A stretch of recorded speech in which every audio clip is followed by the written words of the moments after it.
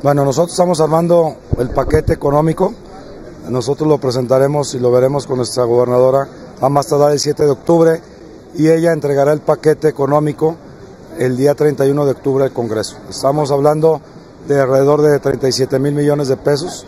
Son cerca de 1.500 millones de pesos adicionales al presupuesto de este año. Como ustedes saben, la prioridad es salud, seguridad, educación, la parte de infraestructura y todos los partes de apoyos sociales. Seguridad es donde ha destinado mayor presupuesto y está, como ya lo comenté ahorita, varias reuniones ya tuvo con la presidenta electa, ha tenido con varios de las personas que van a ser secretarios en la próxima administración federal y si hay acercamiento, lo que les puedo decir es que será el paquete el paquete que llegará, más bien las, las, participaciones, serán alrededor de un 6% adicionales. ¿Qué es lo que estamos contemplando? Los criterios, los criterios que se toman económicos es de un 4%, es lo que nos marca. Nosotros, nosotros llevamos en este año, llevamos el 99% de cumplimiento, son cerca de 100 millones de pesos hasta el mes de agosto, lo que no ha llegado. Y eso ha sido gracias a las gestiones de nuestra gobernadora con la Secretaría de Hacienda y varios actores de, de ahí.